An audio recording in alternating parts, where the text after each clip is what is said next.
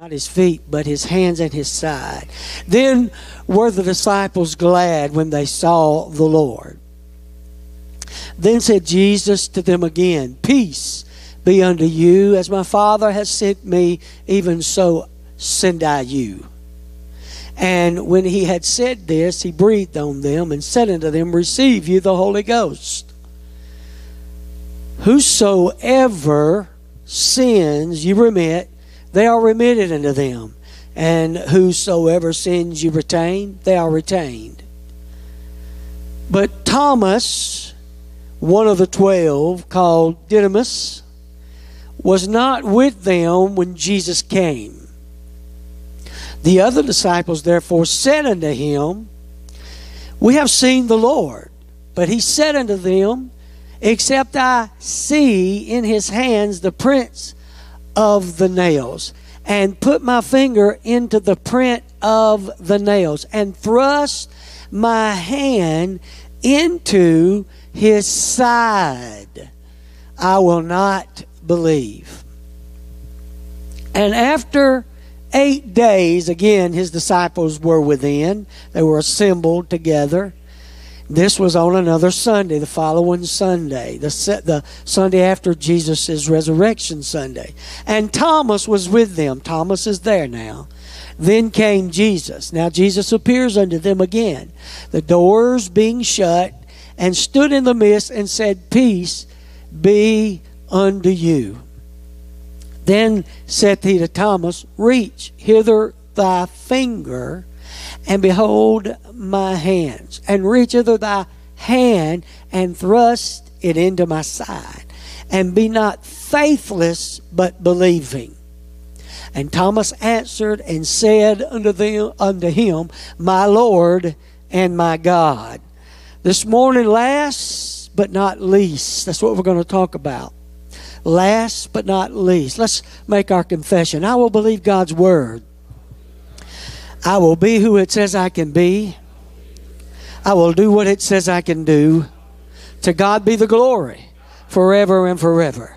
And everybody shouted amen. You may be seated this morning. When you look at Jesus' resurrection, you see the patience of God and how he dealt with people.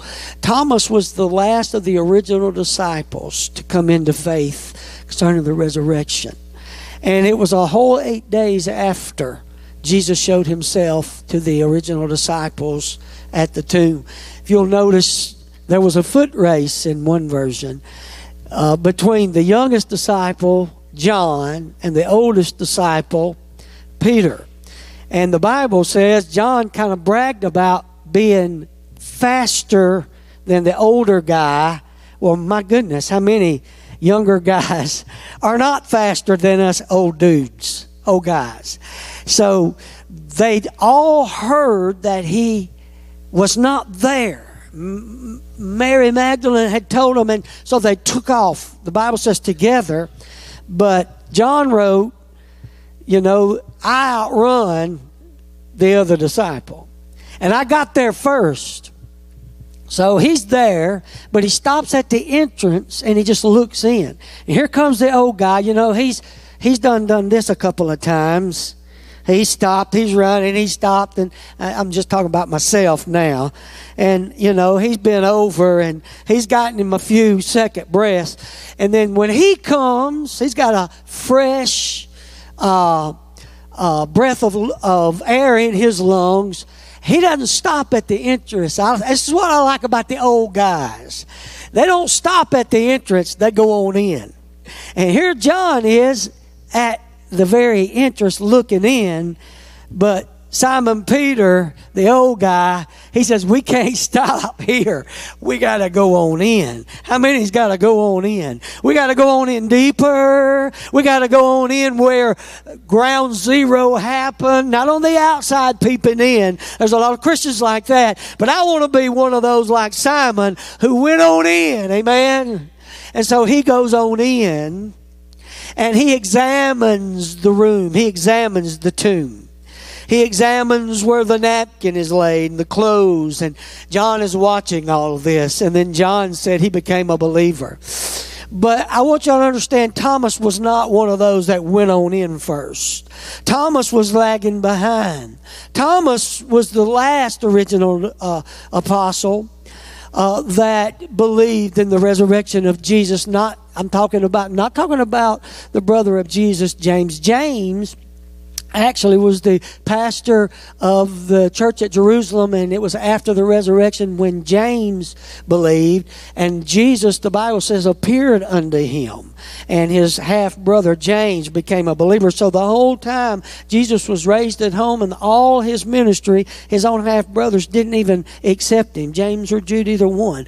But now they later on believed, but the original ones that he picked during his ministry, Thomas was the last one. Everybody else had come in. Everybody else had assembled and saw and believed. Everybody else had experienced him breathing the breath that he breathed upon them. And he said, receive the Holy Ghost. They felt all of that. They were there to experience that, but not Thomas. Thomas missed it. And yet Jesus just kept on coming back. He just kept on coming back. I thank God that he came back for us late stragglers, those that didn't go on in at an early age, those that didn't go on in and accept it at an early age. It took a while. I want you to understand Jesus is still coming back for those that are not in yet, but he's showing up. And I mean, he is knocking them on their knees and he is revealing himself unto them and he is saying, Hey, come follow me. Be a believer. Come on in all the way. Come on in and get all the way in. Don't stop at the edge looking in. Don't be a gazer into the things. Be one who gets involved into the things of God in these last days. And so Thomas represents the one that came in last, but he never was least. He was never demoted for being last. I like that about Jesus. Jesus didn't hold it against Thomas because Thomas did not come in until last among the last 11 apostles that Jesus had. Now we know Judas Iscariot was not with them anymore. And the Lord later on allowed them to replace him with Matthias or Matthias. And that came right before Pentecost. But they had, there was 11, but there was only 10 meeting now because Thomas was still left out. Now he comes and they're telling him and he says, I will not believe until I put my hand, my finger into his nail prints and thrust my hand into his side. Why did Jesus first show them the scars in his hand and not his feet? They were there, but in his side. I want you to know Jesus wanted to know that I wasn't just asleep. Jesus wanted them to know that I wasn't just taking a nap for these last three days or I was passed out and I just kind of woke up and revived. I wasn't in a coma for three days. You see this right here? When they came to break those, those people on the cross with Jesus, they came to break their legs. And you know the story, you've probably heard it many a times. The soldiers would break their legs because it would take a long, drawn out time for them just by hanging by their feet and their hands to die. Jesus had already been beat until his, his, his ribs were showing and his his everything was just opened up. And yet he survived that because no man taketh my life. I lay it down. That's what he said. And he wasn't going to die until it was time brother don for him to die. And i want you to know jesus gave his life. He laid it down.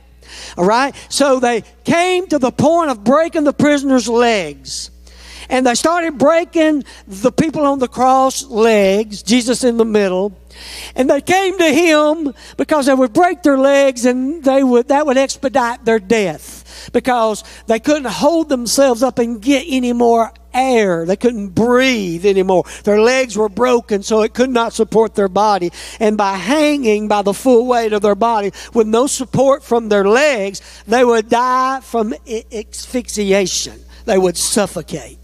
And so they went to this one, broke his legs, went to the one on the other side, broke his legs, and they came to Jesus, and he was already dead.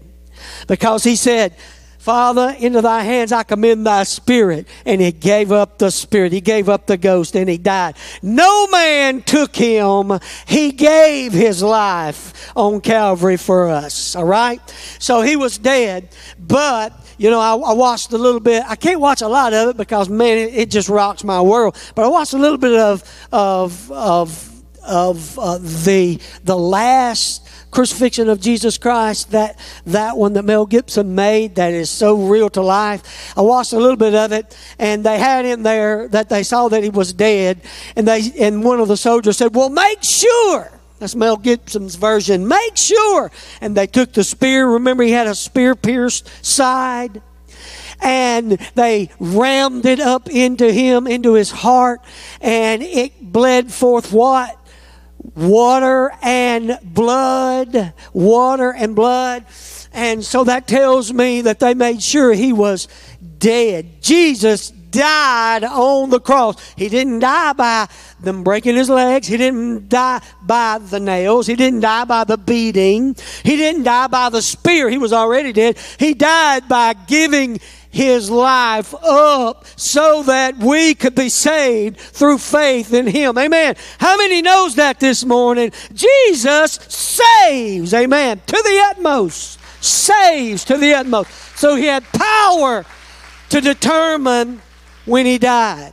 So they pierced his side. So he opened up his side. He opened up that which was covered he unveiled himself and he said, I want you to see that I was really dead. I want you to know that my body died on that cross and I just stepped out of that body. I went into the lower parts of the earth. I preached to hell and I brought captivity captive with me. Hallelujah!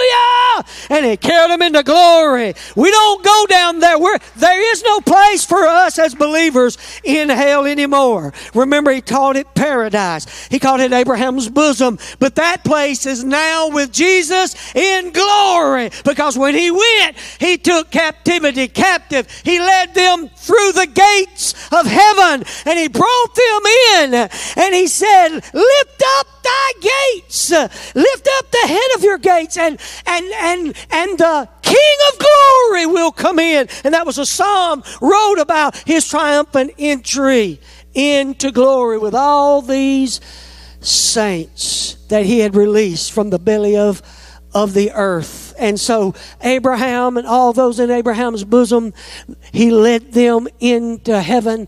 And so we don't go down and then up. We just go up. Amen, everybody. We just go up. This body goes down. This spirit goes up. If you know Jesus, you ought to be shouting a little bit right now.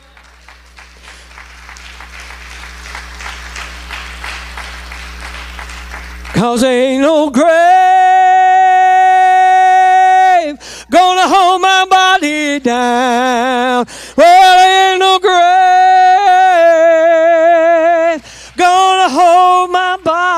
down. When I hear that trumpet sound, I'm gonna get up. This is the way we used to do it. I'm gonna get up. I'm going to get up out of that ground. Sister June, there ain't no grave going to hold my body down. Oh, hallelujah. Dorleen, we got to go one day. It's either going to be by grave or by rapture. But no grave is going to prevent us. How many got loved ones? We had to say goodbye to their body, but we just said, I'll see you later to their spirit. Woo! Because they're with Jesus. And when He comes back, the dead in Christ shall rise first. And we that are alive and remain shall be caught up together to be with them in the clouds, and so shall we ever be with the Lord. Anybody got somebody over in glory right now that they can't wait to see? Woo, glory to God.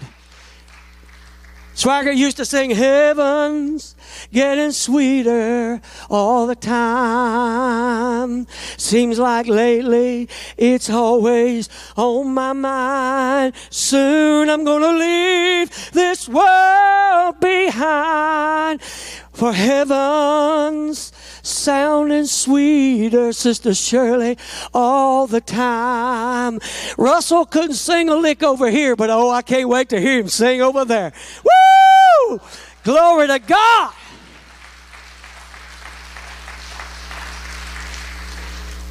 And there are those that are coming in late. the Bible talks about the 11th hour. The 11th hour. Why did Jesus even put that parable in there? The 11th hour. In Matthew 20, he says, The kingdom of heaven is like the owner of an estate who went out in the morning at dawn to hire workmen for his vineyard. Jesus is saying, This is my kingdom I'm talking about. And I, and, and, and I go out and I'm looking for people to help me. I'm looking for people to work. See, God's got us to work in his kingdom. He works with us. The Bible said the Lord working with them. The Lord works with us. How many knows we can't do it ourselves? We are laborers together with God, Paul writes. He is in this with us. We are His garden, but we're also His co-laborers and, and He empowers us. So here's Jesus talking about the kingdom and He is saying, I'm going out to get people to work in my vineyard. He calls it a vineyard. You know, a vineyard is not like, you know, we have around here. We, we have these little ones in our, in the backyard. We really we we just had bullace vines to tell you the truth. We didn't have no no no uh, grapevines. We just went out and in the season. Anybody know what I'm talking about? A bullace. You know what a bullace is? Muscadine. Ours wasn't. We wasn't that fancy. We just had them little black bullaces. That's what we called them in George County. But a vineyard, a vineyard is much bigger than probably what we experience. I used to live uh, in, uh, for a little while, I ministered in Pearl River County, and they would have the blueberry festival, and I'd see little blueberry patches, and they would have a blueberry queen, and they had a blueberry parade, and, and we'd have a, our little church would have a booth, and we'd try to raise money for the youth and for the building, things of that nature. So we frequented that and they would raise these blueberries. And, you know, I never saw a real, for real, big time blueberry orchard or field until I got over there. And the man, these people are serious about blueberries, let me tell you. Well, this was a vineyard even bigger than that. Have you ever seen the, the wine countries of California? And I mean, it's just filled with vineyards. They're beautiful. I'd like to go. I'm not going to go drink wine now. Don't look at me like that. It'll be non alcoholic wine. But I would like to see, because Jesus calls his kingdom a vineyard like that. It's even bigger, more bigger than that. But you can kind of, Brother Lewis, see what he's talking about when you see what they understood a vineyard was. It's huge areas where they're growing grapes. And he sees all these huge fields, and I'm thinking, how do they do it? How do they get to all of those plants in Jesus' day. He's got all these vineyards. How does and so Jesus is saying the harvest is plenteous. But but but but the laborers are few. So here's Jesus in his kingdom going out and he's looking for people. And the Bible says he goes at dawn. That's the first hour. There's 12 hours in the Jewish work day. Oh, praise the Lord for an American work day. Amen. Amen. Now some of us we even scaled it back from there, you know, and uh, and we try to ride the clock every chance we get, you know, stretch it on out. But then it was twelve hours. I mean, when the sun just before the sun came up, they were there, and when the sun just before it went down, they were there, and then they could go home. And so this is the kingdom. That means the Lord is busy about His work. Amen. He's looking for people that He can bring in to help Him. And so He's out, and at dawn he, he has people, and then he goes out the third hour. It's about 9 o'clock a.m. our time. He goes out and he says, Hey, come work for a day's wage. Now, that's a pretty good deal. You know, you didn't start at 6, you start at, at, at you start at 9, the third hour, at about 9 o'clock, and you're still going to get a whole day's wage. Now, a whole day's wage was a penny uh, in, in our currency, so it's not that much, but hey, he's going to give me a whole day's wage, and, and I wasn't even there when they first started. That's a deal. So he goes, and they said, I'll do it. So he goes and he recruits them for his kingdom, and they're so happy to be a part of the kingdom of the Lord, and they're out there working, and they didn't come at dawn, they weren't here at the first first. They came in a little later. And then he goes and he says, There's still not enough. And he goes at the ninth hour. And he shows up at about uh, our time, it's about about 3 p.m. and he says, "Hey, I, I ain't got enough people in my in my in my vineyard to collect my harvest. I, I want you guys to come." And they feel his presence and they feel his call on their life and they're all excited. He says, "I'll tell you what, I'll give you a whole day's wage. I'll give you all of it if you'll start right now." Hey, that's a better deal, isn't it? Don't you think? I think that they got. Hey, I, I don't know about those other guys, but but I'll take it. He get gives them a full wage for the 12 hours, and it is now 3 p.m. All right? And then he goes out and he hires people and he keeps hiring them and he gives them the same thing and he comes to the 11th hour. How many know that's where we are right now? We are at the 11th hour and Jesus is still going out and he's reaching people. He's, he's reaching the Thomases out there that hadn't quite come in yet. They seem like they're missing it, but they're not going to miss it. Hey, they seem like they're the least, but they're not the least. Jesus said, the last shall be first and the first shall be last. So he says there's no difference. He said, I'm going to bless them and I'm going to, I'm going to pour my spirit out upon them just like I did those that were here at daylight. They're going to get it all too.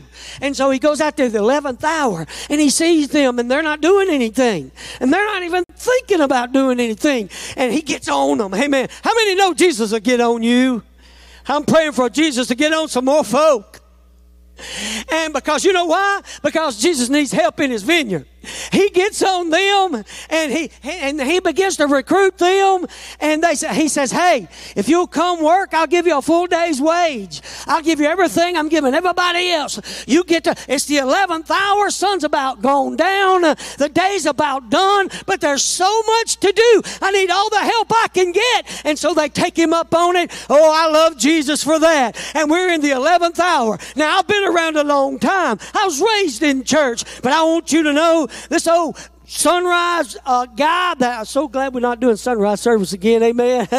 I was raised in the sunrise era, and as I was driving the van, some of the kids said, "Look at there, they're at church early this morning." I said, "Yeah, they must be having sunrise." I'm so glad God delivered me from sunrise service because I was a I was a preacher's kid.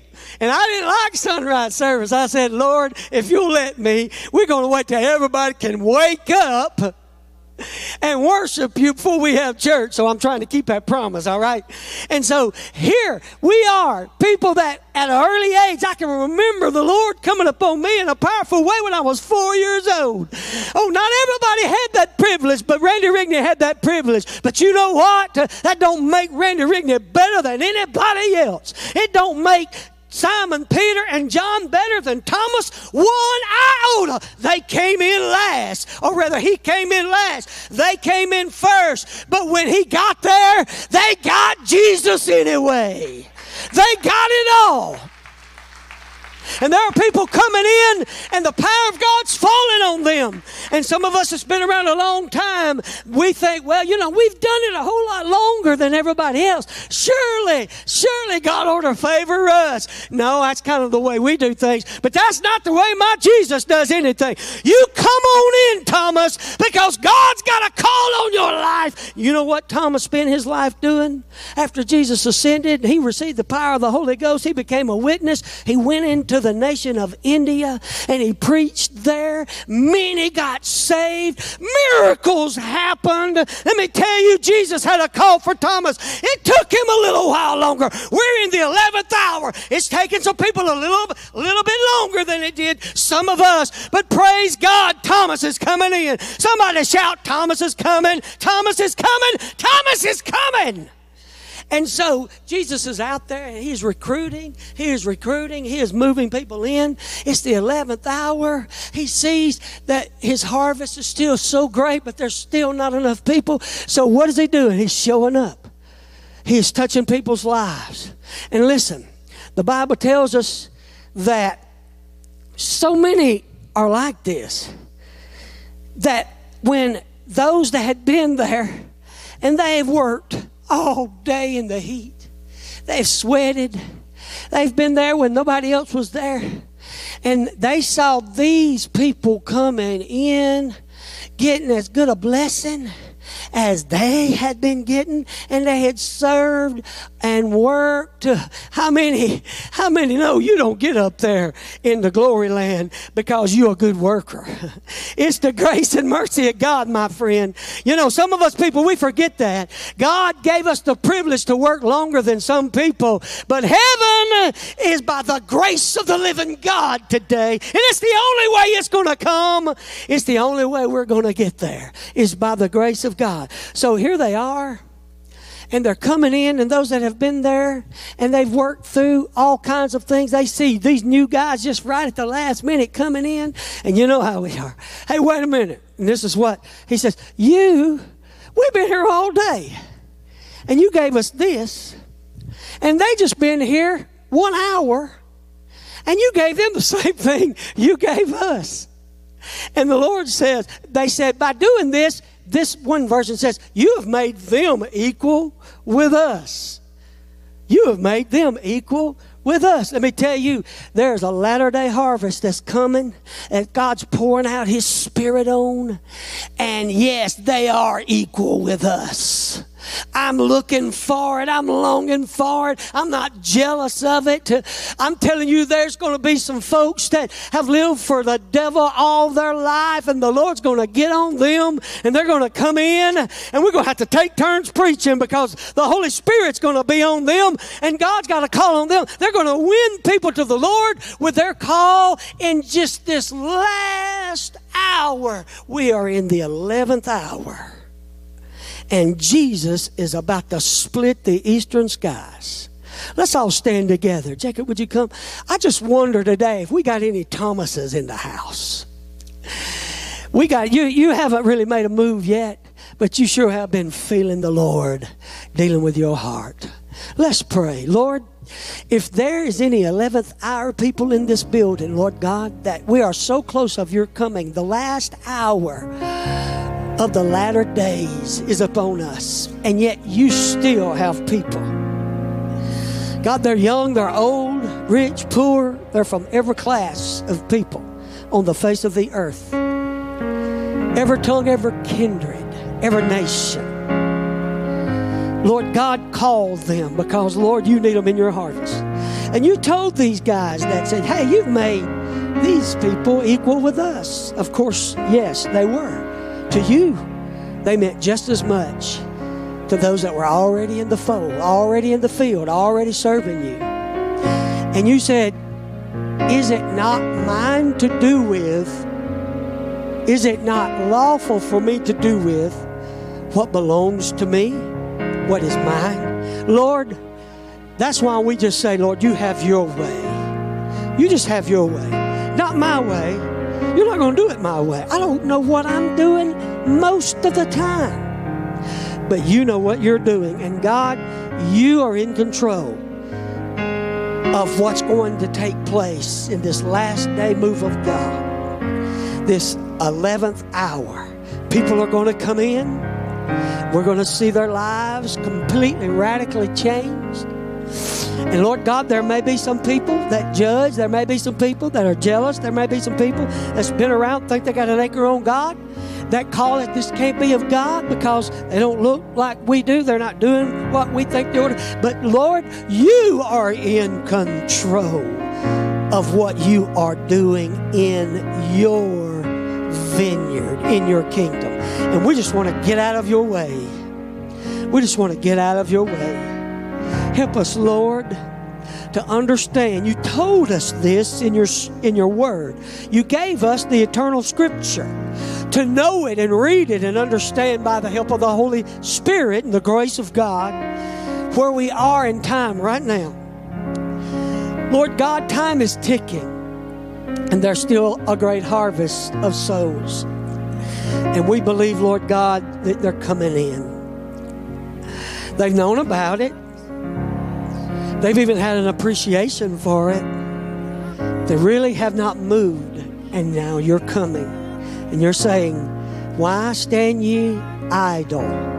You're just standing by. I don't want you to stand by. I want you to come with me.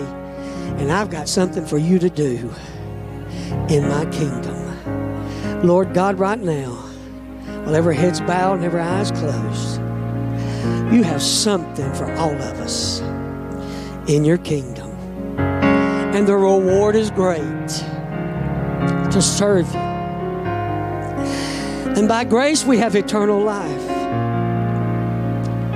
Not by works, lest any man boast, but by grace through faith are we saved. And that same grace has pre- prepared and provided a place for us to serve you in the kingdom. And the gifts and calling of God is without repentance. Lord God, we thank God for the gift and for the calling of the Lord Jesus upon your people. Lord God, I pray if there's a Thomas in this building that's ready to come on in, just surrender. I just pray, God, that take this opportunity to say, hey, that's me. And I'm ready to lay it all down. I'm ready to give everything to Him. He's calling me. And I'm answering the call that the Lord has placed upon my life. Say, Pastor, that's me. That's me. And I want this morning to just acknowledge it by stepping out of my seat and just coming down to this altar area and saying, I'm coming to surrender. I'm coming just as I am. I don't know how it's going to happen. I just know God is moving in my life. And I got to answer the tugging that is upon my heart. You're here this morning, and that's you. Whoever you are, I want you to get out from your seat. I want you to walk down this aisle and come here and stand.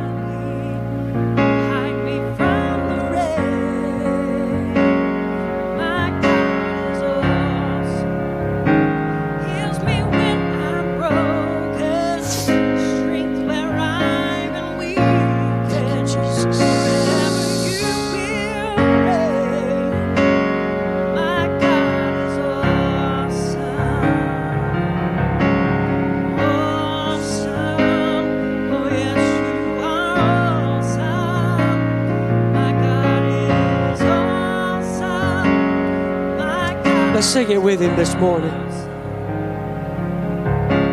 Awesome. Yes, you are Awesome. Awesome. My God is awesome. Savior of the whole world. Yes, he is.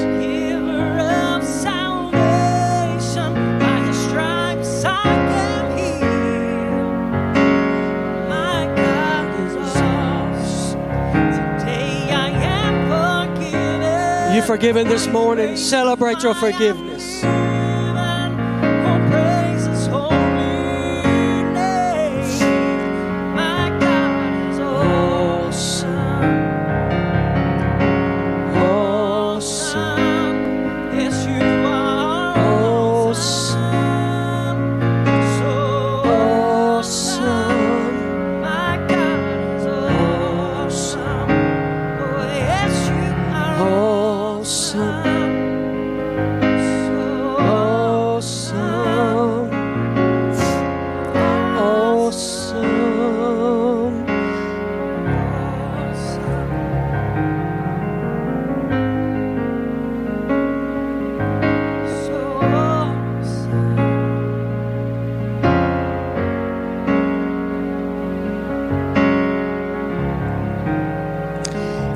Love the blessings of the Lord that He has spoken out of His word over our life? Thank you, Jesus, for your word of blessing. Would you just lift your hand this way as we just read this blessing over each and every household, every soul in this building, over those that their lives that are, have joined us over Facebook Live. Hear the word of the Lord today. The Lord bless thee and keep thee. The Lord make his face shine upon thee and be gracious unto thee. The Lord lift up his countenance upon thee and give thee peace. The grace of the Lord Jesus Christ and the love of God and the communion of the Holy Ghost be with you all. Amen. Praise God. One more time, give Jesus